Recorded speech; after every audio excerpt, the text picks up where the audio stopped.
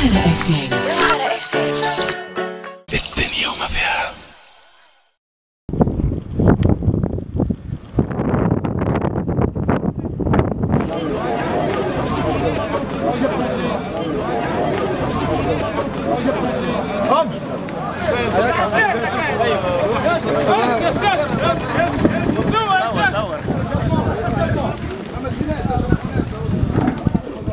خذوا كلامي على محمل الجد.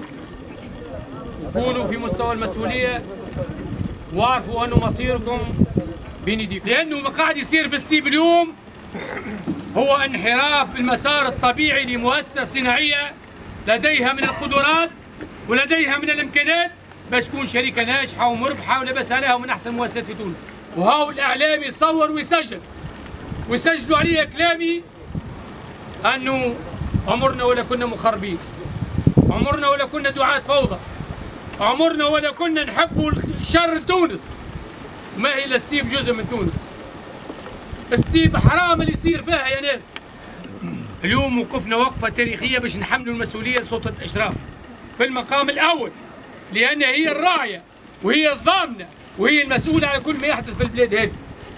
أمنكم ورزقكم وصحتكم وتعليمكم كل مسؤولية الدولة. مش مسؤولية أي طرف. عناءاتهم وتعبهم. وشقاهم هو اللي يخليهم يدافعوا عن الشركة بكل جهدهم وبكل قوتهم